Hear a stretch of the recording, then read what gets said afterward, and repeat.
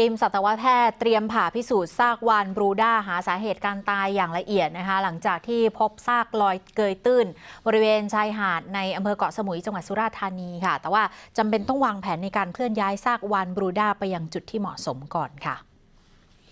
ทีมสัตวแพทย์ลงพื้นที่ชายหาด บ้านเชิงมนตำบลบ่อผุดอำเภอเกาะสมุยจังหวัดสุราษฎร์ธานี เพื่อผ่าพิสูจน์ซากวานบรูด้าหาสาเหตุการตาย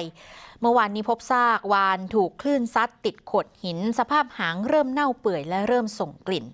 จากการตรวจสอบพบว่าเป็นวานบูด้าเพศเมียความยาวกว่า 11 เมตร น้ำหนัก 7-8 ตัน บริเวณลำตัวไม่พบบาดแผลค่ะ คาดว่าน่าจะตายมาแล้ว 4-5 วันก่อนที่จะถูกคลื่นซัดมาเกยตื้นนายสิทธิโรธแก้วหนองเสม็ดกลุ่มอนุรักษ์ทรัพยากรทางทะเลพื้นที่เกาะสมุยและเกาะพังงานระบุว่า วานบรูด้ามักรวมตัวเป็นกลุ่ม เป็นเครื่องบ่งชี้ความอุดมสมบูรณ์ในทะเล ที่ผ่านมาพบวานบรูด้าบริเวณทะเลอ่าวไทยบางส่วน